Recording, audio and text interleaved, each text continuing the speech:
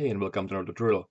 Today we will continue with drawing spirals inside Microsoft Word using Visual Basic for applications that is using macros and this is what we have from the last time. We have a nice looking spiral where it grows linearly from the center.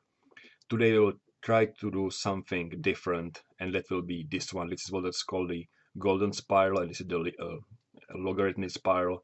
You can see it's kind of growing when it goes outside. It has a very natural feel and it obviously look much much better if you use something like this in your design. So before we do that, let's talk about what we use to draw those spirals. Let's, let's talk about the polar coordinates because that's the essential thing to do or understand. So usually when we talk about drawing something in Microsoft Word, we are drawing it on the X and Y position, but we can actually specify the point inside a space in a different way. We can say that the point has a certain distance from the origin, which will be the r as a radius, and certain angle, which will be the theta. Now we cannot tell Word to draw a point on this position r and theta. We have to first convert it from polar coordinates into Cartesian coordinates, that is to x and y value. And we will do this by saying that the x equals r times cosine the angle and y equals r times sine the angle. Now previously we were setting the uh, radius, the r, to be based on the angle that will be r times the angle. So in the beginning it was in the center on the position 0, 0. And then we, when we increase the angle, we are increasing the r value. So we are drawing a spiral like this. This time we will do something different. Instead of just multiplying it, we will use the r as the exponent. So we will raise some number to the r that will cause the R to quickly go to some higher values when the angle increases.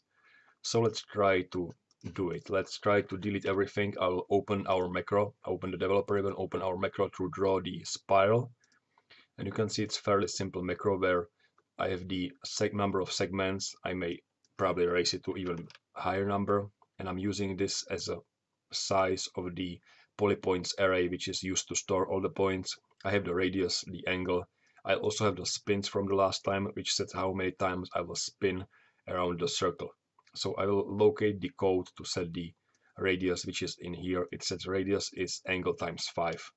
Instead of saying radius is angle times 5, I will say radius is some value raised uh, to the radius to the angle. So for example, 1.1 raised to the angle.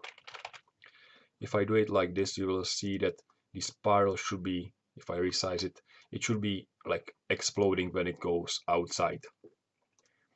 Now, if I quickly look at the Wikipedia for golden spiral, there is actually a value which I should use to get the golden spiral. It's down here. We are measuring the angle in radians, so we have to use this value 1.3584.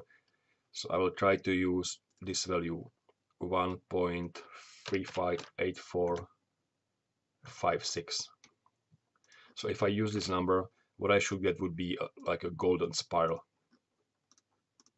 So I delete everything, I run this macro again, and I'm getting this what's called a golden spiral with the golden ratio. You can see it kind of explodes very quickly, it goes outside the document.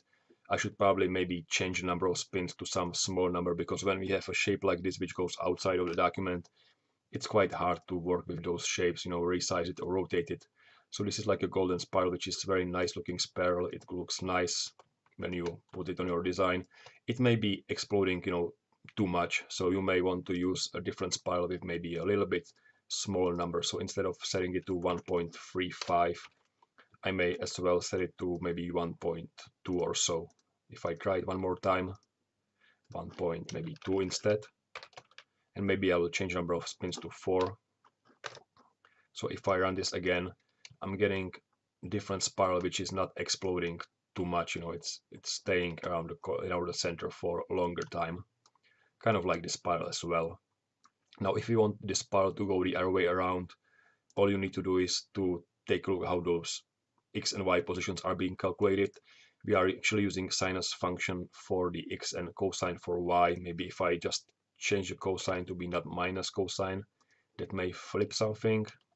Seems like it did so it flipped the axis so it's actually going counterclockwise previously it was going clockwise and that's it for today's tutorial. Thanks for watching and hope you had some fun with drawing spirals inside Word.